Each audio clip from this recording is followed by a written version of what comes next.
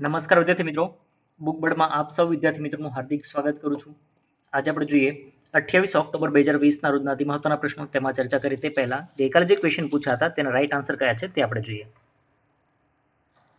વિશ્વના સૌથી મોટા ફુવારાની શરૂઆત ક્યાં કરવામાં આવી? વિશ્વનો સૌથી મોટો ફુવારો જેની શરૂઆત કરવામાં આવી છે તે દુબઈ ખાતે શરૂઆત કરવામાં આવી છે. એફએસએસઈઆઈ દ્વારા ભારતને ટ્રાન્સફેક્ટ મુક્ત બનાવવા માટે કયા વર્ષ સુધીનું લક્ષ્યાંક રાખવામાં આવ્યું છે? હવે જુઓ. આ એક આપણે ટાર્ગેટ નક્કી કર્યો છે, એ છે બે હજાર બાવીસના વર્ષનો. તાજેતરમાં આસન કન્ઝર્વેશન રિઝર્વ જે ઉત્તરાખંડ રાજ્યની પ્રથમ રામસર સાઇટ બની છે. ચલો મિત્રો, એ દિવસે આપણે વિડીયોમાં વાત કરી હતી કે ગુજરાતમાં એક રામસર સાઇટ આવેલી છે. એ કઈ છે? ગુજરાતની. એ તમારે કમેન્ટમાં આન્સર લખવાનો છે. ઓઈસીડીના ઇન્ટરનેશનલ માઇગ્રેશન આઉટલુક રિપોર્ટ મુજબ ભારત કેટલામાં ક્રમાંક પર છે? તો ભારત સેકન્ડ ક્રમ પર છે. તાજેતરમાં કઈ રાજ્ય સરકારે સીબીઆઈ પાસેથી જનરલ કન્સેપ્ટ પરત લઈ લીધી છે? એટલે કે સીબીઆઈ જ્યારે તપાસ કરશે ત્યારે જે તે રાજ્યની મંજૂરી જરૂરી છે, પૂર્વ મંજૂરી લેવી પડશે.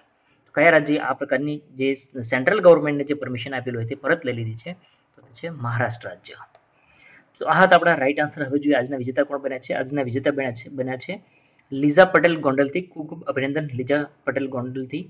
ચલો, હવે આજના કરંટ અફેર્સની ચર્ચા કરીએ તે પહેલાં તમને જણાવીશ કે બીબીસીએલ આપણી બુક બર્ડ ચેમ્પિયન્સ લીગ જે ચાલે છે એજ્યુકેશનલ એક આપણે ટેસ્ટ સિરીઝ રમી રહ્યા છે. તેમાં ગઈકાલે સત્યાવીસ તારીખે જે ક્વિઝ રમાઈ હતી, તેના વિનર રેન્ક ફર્સ્ટ પર છે પિસ્તાલીસ પોઈન્ટ ટ્વેન્ટી ફાઈવ માર્ક્સ સાથે કૌશિક યાદવ તલાજાથી રેન્ક ટુ પર છે અમિત કલસરિયા અમદાવાદથી રેન્ક થ્રી પર છે નકુમ ધર્મેશ અને રેન્ક ફોર પર ચંદ્રેશ આહિર અને રેન્ક ફાઇવ પર દિવ્યેશ મકવાણા. મિત્રો, થોડા આપણે જે બીબીસીએલના જે ટર્મ્સ કન્ડિશન છે, એ ચેન્જ કર્યા છે. તો તમે એક વખત ગૂગલ પ્લે સ્ટોર પર અગર તમે બુકબર્ડની એપ્લિકેશન ડાઉનલોડ નથી કરી, તો ડાઉનલોડ કરી લો. અને ડાઉનલોડ કરેલી છે, તો એમાં તમે જોઈ શકશો ટર્મ્સ કન્ડિશન કયા છે. જો હજુ પણ તમે આમાં પાર્ટિસિપેટ કરવા માંગતા હોય, તો આજે જ બીબીસીએલ કોર્સ પર તમે એક્ટિવ થઈ જાઓ, એને પરચેસ કરી લો. અને હજુ પણ જેટલા દિવસ આપણા બાકી છે, એ દિવસમાંથી પણ તમે વિજેતા બની શકો. રોજના પાંચ વિજેતા આપણે જાહેર કરીશું, એટલે કે બાર દિવસની ટેસ્ટ લેવાશે. તેમાં રોજના પાંચ વિજેતા જાહેર થશે. કુલ સાઠ વિજેતા થશે ફર્સ્ટ રાઉન્ડમાં ચલો મિત્રો, તો હવે આજના કરંટ અફેર્સની ચર્ચા કરીએ. તાજેતરમાં એક અહેવાલ પ્રમાણે ગુજરાતમાં સૌથી વધુ રીંછની વસ્તી ક્યાં જોવા મળી? સૌથી વધુ રીંછની વસ્તી કયા જિલ્લામાં જોવા મળી છે? તો આપણો આન્સર થશે બનાસકાંઠામાં. મિત્રો, એક પંક્તિ સરસ મજાની મને મળી આવી છે. તો અહીંયા આપણે રજૂ કરી છે. ઉમાશંકર જોશીએ શું કહ્યું છે? કે વિશાળે જગ વિસ્તરે નથી, એક જ માનવી પશુ પક્ષી પુષ્પો વનોની છે વનસ્પતિ. આખું જગત છે ને, આખું વિશ્વ એક માત્ર માનવી માટે જ નથી, પશુ, પક્ષી અને વૃક્ષો માટે પણ છે. આ પંક્તિ કોને છે? મશંકર જોશીની. તાજેતરમાં એક અહેવાલ મુજબ, ઉત્તર ગુજરાતના બનાસકાંઠામાં જેસોર જેસોર અભયારણ્યમાં સૌથી વધુ રીંછની સંખ્યા જોવા મળી છે. સૌથી વધારે ક્યાં જોવા મળી છે? બનાસકાંઠા, જેસોરમાં. જેને કોરિડોરમાં રૂપાંતરિત કરીને મધ્ય ગુજરાતમાં દાહોદ, પંચમહાલ સાથે સાંકળી લેવામાં આવશે અને સંરક્ષણ સંવર્ધનની યોજના ઉપર એને કરવામાં આવશે. એટલે કે રાજ્ય સરકાર એવું વિચારી રહી છે કે જો હવે અહીંયા જુઓ, આ રીંછ અને માનવી, આ બંને વચ્ચે ઘણી વખત તમે સાંભળ્યું હશે કે રીંછનો અહીંયા હુમલો થયો. બટ મોટાભાગે રીંછ એ માંસભક્ષી નથી. તેમ છતાં ઘણી વખત આ પ્રકારના હુમલા થતા આવ્યા છે. તો તેને બચાવવા માટે રીંછની સંખ્યા બહુ ઓછી રહી છે હવે. તો એને બચાવવા માટેના પ્રયાસો થઈ રહ્યા છે. નર્મદા પાસેના વન ક્ષેત્રમાં આધારિત પ્રવાસન પ્રવૃત્તિને વેગ આપી શકાય તે માટે તેની આ તમામ પ્રકારની શક્યતાઓ પણ ચકાસવામાં આવી રહી છે. ભારતમાં લુપ્ત થઈ થઈ રહેલા રીંછને બચાવવા, જનજાગૃતિ લાવવા, ગુજરાતમાં ટુરિઝમ કોરિડોરને આગળ લાવવા માટે સરકાર પ્રયાસો કરી રહી છે.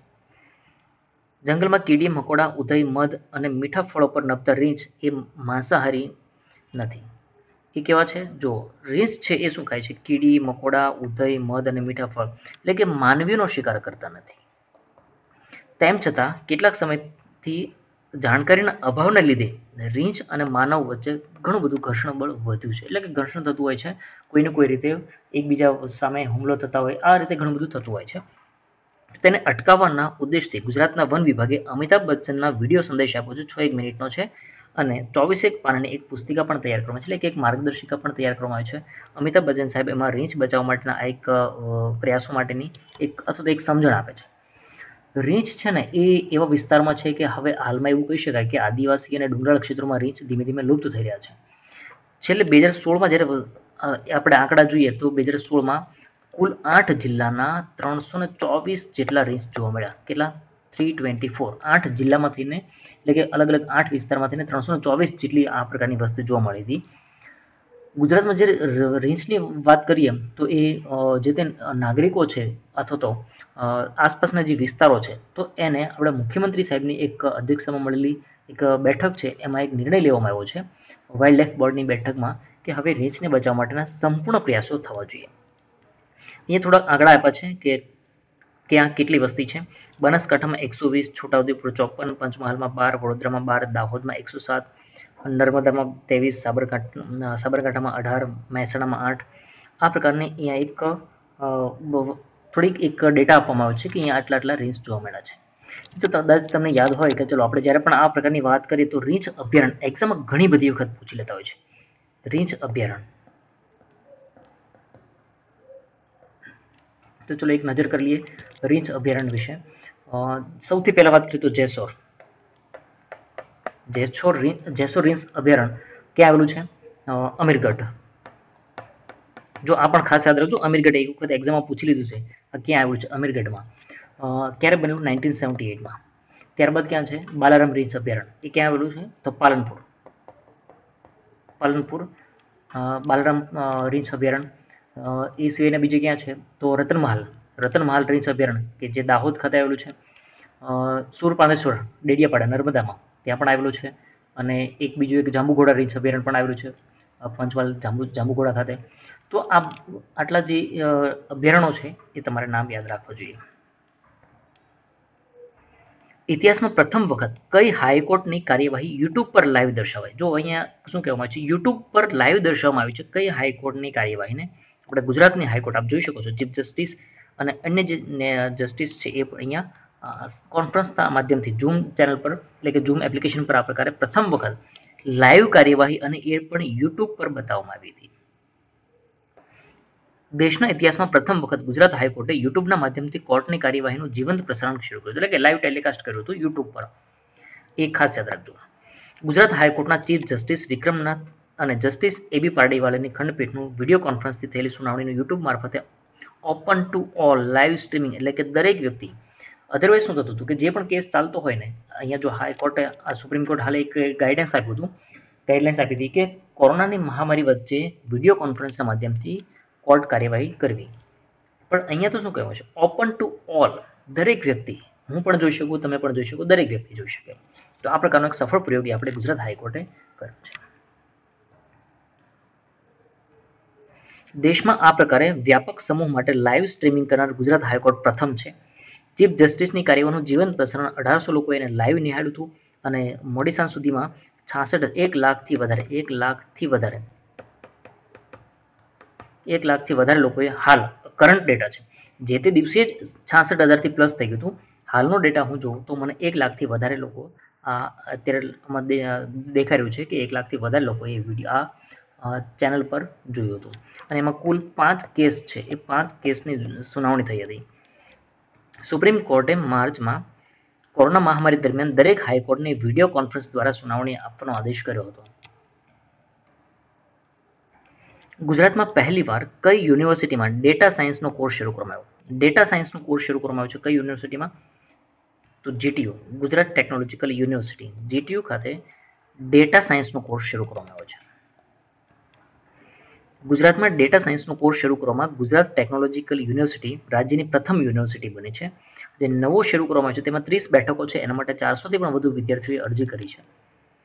વધતા જતા ડિજિટલ યુગમાં ડેટાનું ખૂબ જ મહત્વ છે. એક સમય એવો આવશે કે ડેટા જેની પાસે ડેટા વધારે છે ને, એ એનું બેંક બેલેન્સ વધારે છે એવું કહેવાશે. આપણા વડાપ્રધાન શ્રી નરેન્દ્રભાઈ મોદી પણ શું કીધું છે? ડિજિટલ ઇન્ડિયા ડિજિટલ ઇન્ડિયાને પ્રાધાન્ય. ચલો ડિજિટલ ઇન્ડિયાની વાત કરીએ તો એક વસ્તુ યાદ આવી કે ડિજિટલ ઇન્ડિયામાં ભારતનો આપણે જે મોબાઈલ પર ઇન્ટરનેટની સ્પીડ મળે છે, એમાં ડિજિટલ ઇન્ડિયા આપણે જે કહીએ છીએ ને, તો આપણો કેટલા એમબીપીએસનો સ્પીડ કેટલી મળી છે? મોબાઈલ પર, હા, મોબાઈલ પર જે ઇન્ટરનેટની સ્પીડ મળે છે, તે ડિજિટલ ઇન્ડિયા આપણે જે ગુણગાન ગયા છે તેની સ્પીડ કેટલી મળી હતી? વિદ્યાર્થીઓને ડેટા માઇનિંગ અને ડેટા એનાલિસિસનો અભ્યાસક્રમ કરાવવામાં આવશે. જીટીયુની વાત કરીએ તો જીટીયુની સ્થાપના ક્યારે થઈ હતી? બે હજાર સાતમાં. જીટીયુની સ્થાપના થઈ હતી અને હાલના કુલપતિ કોણ છે? નવીન શેઠ. શિક્ષકોને સન્માન આપવાની બાબતમાં ભારત વિશ્વમાં કેટલામાં ક્રમાંક વિશ્વમાં ભારતનો ક્રમ કેટલામો છે કે જેમાં શિક્ષકોને સન્માન આપવામાં આવે છે રિસ્પેક્ટ આપવામાં આવે છે? તો શિક્ષકોને રિસ્પેક્ટ આપવાની બાબતમાં ભારત છઠ્ઠા ક્રમ પર છે. બ્રિટનની એક ફાઉન્ડેશન વર્કે ફાઉન્ડેશન દ્વારા એક ડેટા લેવામાં આવ્યો હતો. તેમાં reading between the lines what the world really think of teachers આ એક અહેવાલ જારી કરવામાં આવ્યો હતો. અને તેમાં શિક્ષકોને જે માન આપવામાં આવે છે તે બાબતમાં ભારત સમગ્ર વિશ્વમાં છઠ્ઠા ક્રમે છે. કુલ પાંત્રીસ દેશોમાં આ સર્વે કરવામાં આવ્યો હતો, જેમાંથી ભારતનો ક્રમ કેટલામાં છે? છઠ્ઠો ક્રમ છે. તમારા જેવા દરેક વિદ્યાર્થી મિત્રો, જે શિક્ષકો જે છે, એને જે રિસ્પેક્ટ આપી રહ્યા છે, તેમાંથી આપણો ભારત દેશનો ક્રમ ઘણો સારો કહી શકાય. આ યાદીમાં ચીન, Ghana, Singapore Ghana, Singapore, Canada અને મલેશિયા ભારત કરતાં આગળ છે. ઉપરાંત, Varkey foundation global teacher prize પણ આપે છે. સુરત અને તાપી જિલ્લામાં વર્ષ દરમિયાન શ્રેષ્ઠ કામગીરી માટેનો સહકારી સંઘનો સહકારી સહકારી સંઘનો એવોર્ડ કઈ સહકારી સંસ્થાને આપવામાં આવ્યો? સહકારી સંસ્થાને એવોર્ડ આપવામાં આવ્યો છે જે શ્રેષ્ઠ કામગીરી માટે. તો કોને આપવામાં આવ્યો છે? તો સુમૂલ ડેરી સુરતને આપવામાં આવ્યો છે. સુરત અને તાપી જિલ્લામાં વર્ષ દરમિયાન શ્રેષ્ઠ કામગીરી અને દેખાવ કરનાર સહકારી સંસ્થાઓએ સુરત જિલ્લા સહકારી સંઘ દ્વારા વર્ષ બે હજાર અઢાર ઓગણીસ માટેનો વિશિષ્ટ કામગીરી અને બેસ્ટ પરફોર્મન્સ માટે સુરત જિલ્લાની સુમૂલ ડેરીને સહકાર સંઘનો એવોર્ડ આપવામાં એનાયત કર્યો છે. ડેરીના ટર્નઓવરમાં છેલ્લા પાંચ વર્ષ દરમિયાન તોતેર ટકાનો અને મિલકતમાં તેત્રીસ પોઈન્ટ છ ટકાનો વધારો નોંધાયો છે સુમુલ ડેરીનો. ચલો સુમૂલ ડેરીનું પૂરું નામ શું થશે એ તમારે કમેન્ટમાં લખવાનું છે. સુમુલનું પૂરું નામ શું થશે? અમૂલનું પૂરું નામ શું થશે? આ તમારે આન્સર કરવાનો છે. એ સિવાય ભાવનગરમાં કઈ ડેરી આવેલી છે? ભાવનગરમાં કઈ ડેરી આવેલી છે? એ સિવાય ગાંધીનગરમાં કઈ ડેરી આવી છે? રાજકોટમાં કઈ ડેરી આવી છે? આહવામાં કઈ ડેરી આવી છે? અને કચ્છમાં કઈ ડેરી આવેલી છે? આટલા તમારા આન્સર લખવાના છે.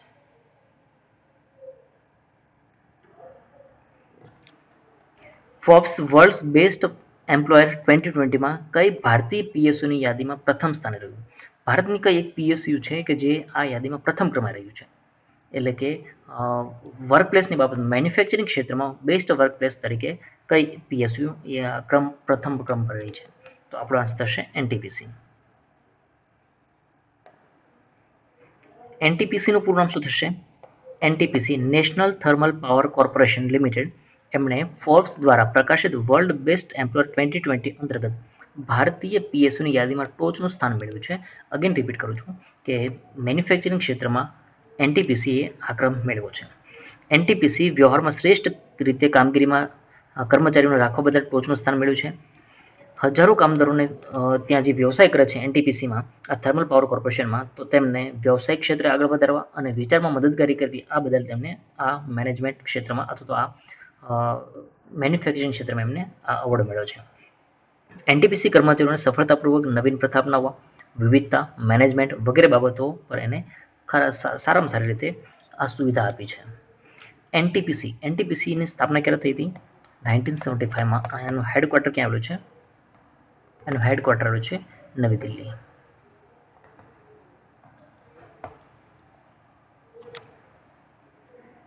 તાજેતરમાં ભારતે કયા દેશ સાથે the basic exchange and cooperation agreement હેઠળ કરાર કર્યા? ભારતે અમેરિકા સાથે આ પ્રકારના કરાર કર્યા છે? ભારત અને અમેરિકા વચ્ચે આવી જે ટુ પ્લસ ટુ ડાયલોગ આપણે બે દિવસ પહેલાં જ વાત કરી હતી. ટુ પ્લસ ટુ આપણે જે મિટિંગ યોજાય તેમાં ત્રીજી સિઝન દરમિયાન બંને દેશો વચ્ચે લશ્કરી દ્રષ્ટિ મહત્વનો the basic exchange and cooperation agreement કરવામાં આવે છે. આ કરાર હેઠળ બંને દેશો વચ્ચે લશ્કરી માહિતીની આપલે કરવામાં આવશે. જરૂર પડે તો બંને દેશો એકબીજાને લશ્કરી ઉપગ્રહોની માહિતી પણ આપશે ફોટોઝ પણ આપશે. એકબીજાને પૂરી આ પ્રકારની માહિતી એકબીજાને પૂરી પાડશે અને બંને દેશો છે મિલિટરી ઇન્ફોર્મેશનની પણ આપલે કરશે. મિત્રો, અહીંયા કહેવામાં આવ્યું છે કે ફોટો તસવીર પણ આપશે. બટ જે હાલની પરિસ્થિતિ છે એમાં આપણે ટીકા નથી કરતા. બટ એક સમય એવો હતો કે જ્યારે આપણે કારગિલ યુદ્ધ થયું. કારગિલ યુદ્ધ થયું, એ સમયે આપણી પાસે એટલો બધો ઉપગ્રહ અને આપણે ભારત એ સમયે આટલું બધું ટેકનોલોજીમાં આગળ નહોતું પડ્યું. અને ભારત પાસે એટલો બધો પાવર પણ નહોતો કે કોઈને દબાવી શકે. તેમ છતાં તેમ છતાં ભારતે અમેરિકા પાસેથી એક ફોટો માંગ્યો હતો કે કારગિલનો અમને ફોટો આપવામાં આવે. કે ફોટોની કિંમત જે લીધી છે અમેરિકાએ, એ કિંમત અને આજની આપણે જે જે એની સામે જે રિલેશન રાખીએ છીએ અથવા તો જેને આપણે આપણે એને દવા આપીએ છીએ ને, જે ક્યાંયથી નથી મળતી ને પાકિસ્તાનને પણ નથી મળતી ઇવન કે પાકિસ્તાને તો નામ પણ નથી બોલતા આવડતું આવી દવાનું.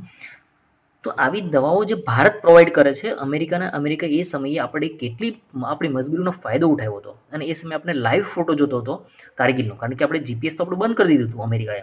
તો આપણે વર્ષો જૂનો, બહુ વર્ષો જૂનો ફોટો આપણે પધરાવી દીધો હતો અને કરોડો રૂપિયા ખંખેરી લીધા હતા. તેમ છતાં હવે એવું કહે છે કે લશ્કરી ઉપગ્રહો અને ફોટોની આપલે કરવા માટે એકબીજા બંને એકબીજા એકબીજા દેશો એકબીજાને સહકાર આપશે. વોટ ખેર, જે પણ હોય તે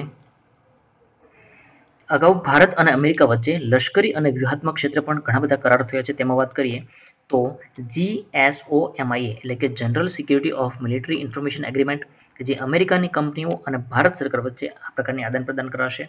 લેમો કે જેમાં logistic exchange memorandum of agreement કે જેમાં એકબીજાના લશ્કરી મથકો વાપરી શકાશે.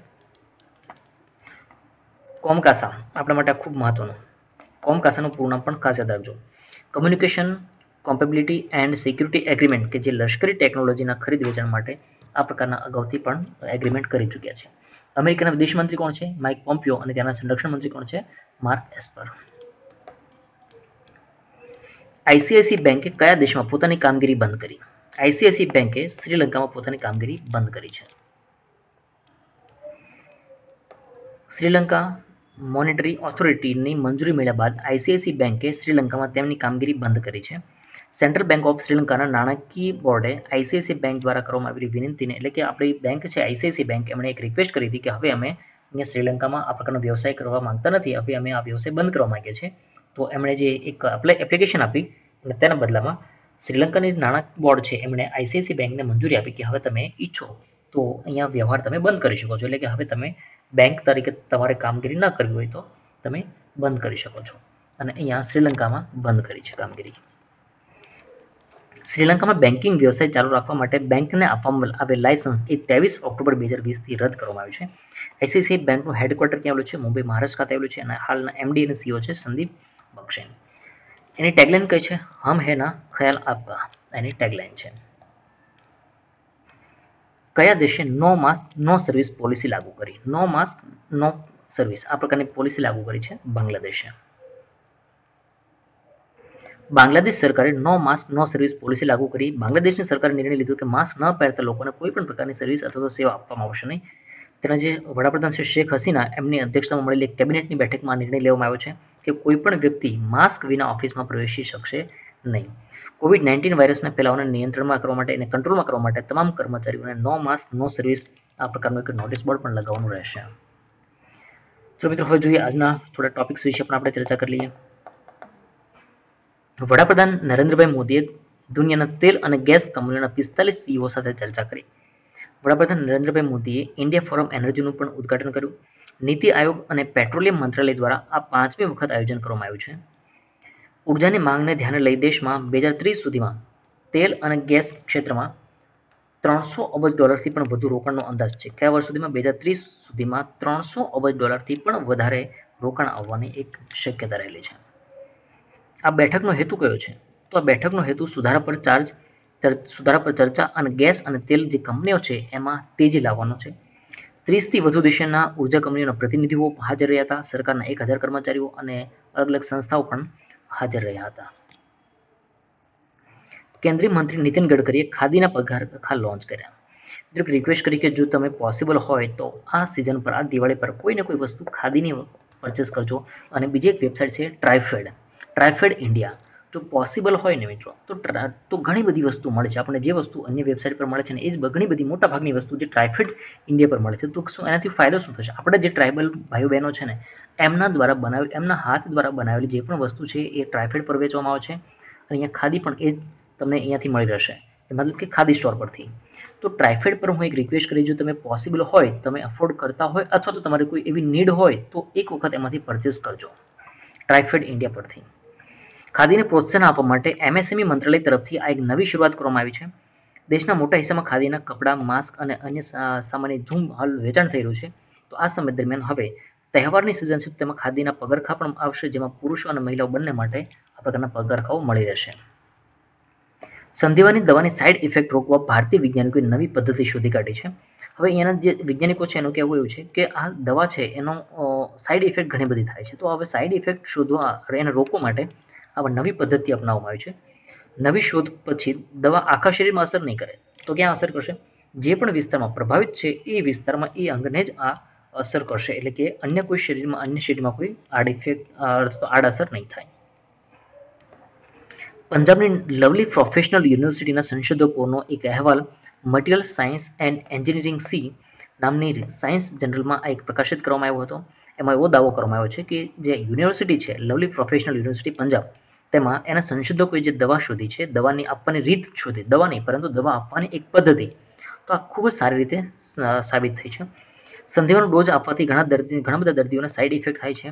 અને આ સાઈડ ઇફેક્ટ ન થાય તેને ધ્યાનમાં રાખી અને આ લવલી પ્રોફેશનલ યુનિવર્સિટી પંજાબ એમણે આ કઈ રીતે દવા આપવી એ એક શોધી કાઢ્યું છે.